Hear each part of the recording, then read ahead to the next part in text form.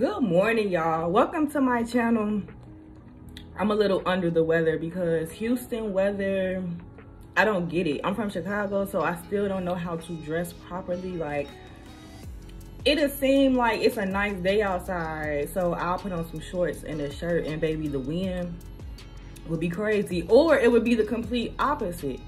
You think it's cold you got your jacket on you think the wind gonna come through ain't no wind and it's just dry i'm gonna start doing more vlogs like daily vlogs. Um i took a pause to go to my new channel. I'm close to being monetized already in two months because i have a niche. The importance of learning what a niche is right? The niche really will push your channel and it will bring you your audience that you want according to that niche.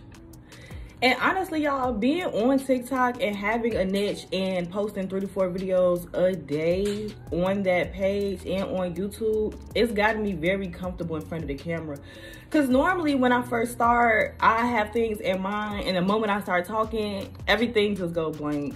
Or it takes me a little minute to get to it but now I just feel a little bit more comfortable. I have ways to go and so much to learn, but I like that I am getting more comfortable in this.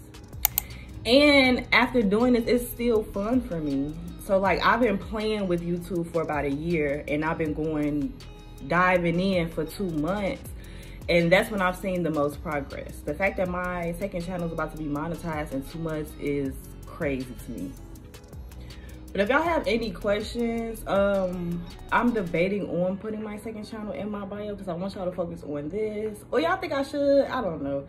But I do have a second channel, it's Dark Skin Queen 2.0, where I dive in into all the hot topics, all the things that people are talking about on social media, in the news, and I just give my take, you know? So yes, y'all, I am back. I am excited to be back on this channel because my other channel, like I said, is gossip, is hot topics, but here is just me and trying new things. Like I'm gonna be trying so many different food views, few places and do food reviews in Houston. And then just try different things and hopefully get this cold out because I can't do it. I can't. But thank y'all for watching, y'all. Y'all gonna see me daily. Make sure y'all tune in, watch my other videos. Let me know what y'all really wanna see from me and I'm gonna make sure I show y'all. Peace.